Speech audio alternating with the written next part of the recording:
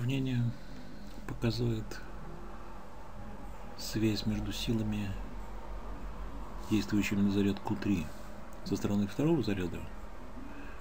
Она будет направлена как R2 минус R3, то есть в направлении Q2.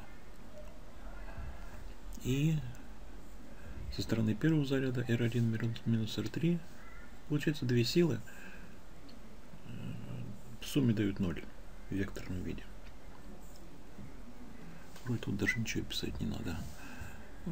А снизу подставлены квадраты расстояний, поскольку мы единичный вектор добавили r2 минус r3 здесь, здесь r1 минус r3, то получилось вместо квадрата здесь куб.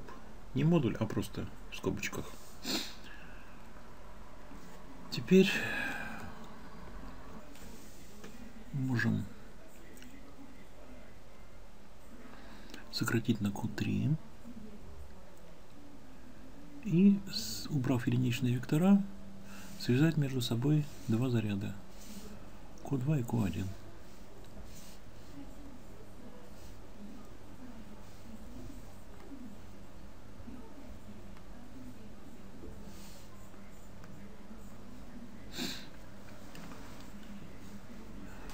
Это написано равенство единичных векторов по модулю.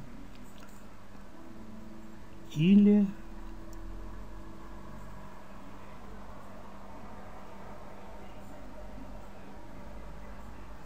можем теперь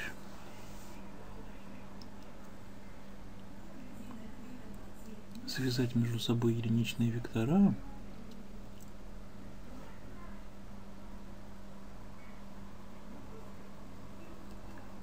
Добавив сюда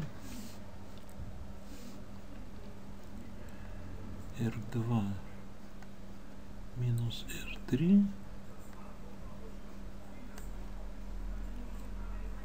корень из Q2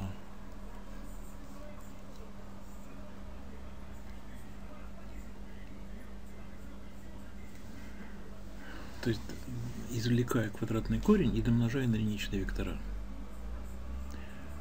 которые равны по модулю не на единичные вектора, а на вектора R2 минус R3, а, единичные, которые направлены в разные стороны. Можем связать между собой теперь вот этот корень из Q2 и корень из Q3. Здесь будет равно корень корень из Q3 деленное на R 1 минус R3.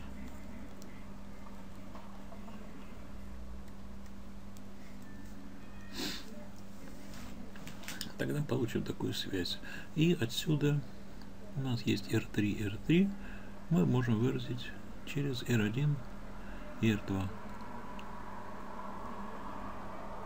Если мы запишем для какого-нибудь заряда, заряда вот здесь записано для Q1, условия равновесия,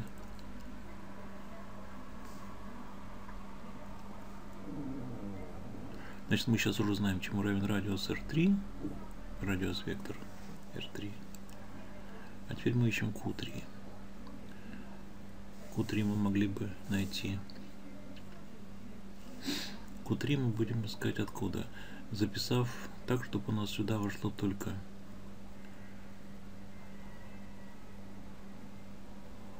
Q1 здесь сократился заряд,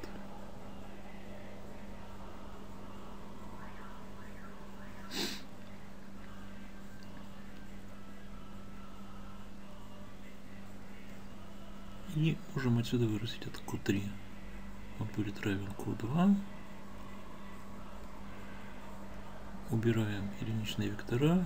Здесь у нас стоят скобки просто. R3 стоит только числителе. Подставляю сюда R3.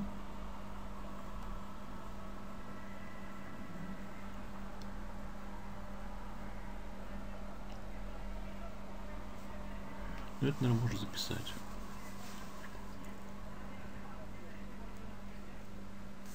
Значит, я сейчас вот сюда. Давайте в эту скобку. R1 минус R3 в квадрате. r1 минус r3 в квадрате будет равно r3 сюда подставляем r1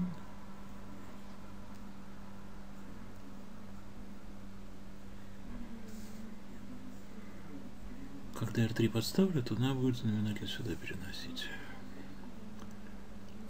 Корень из q1 плюс r1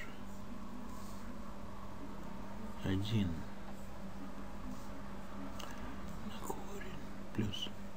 На корень из q2 это я q1 подставил, умножил на знаменатель. Теперь подставляю вот это со знаком минус. Минус. Минус здесь будет корень из q2 на r1. Корень из q2 на r1.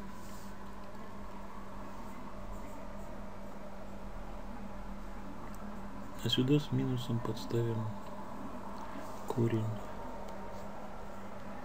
из q1 на r2. qr1 r1 r1 q2. Вот у нас плюсом с минусом есть. А здесь будет перекрестный r1 r2 q1 q1 да тоже q1 а r1 тогда у нас здесь получается корень из q мы можем вы ага в квадрате еще все это. Тогда мы q1 выносим.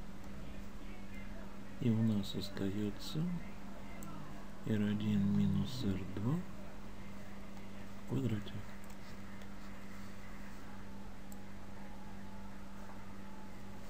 Q1 здесь есть и здесь есть.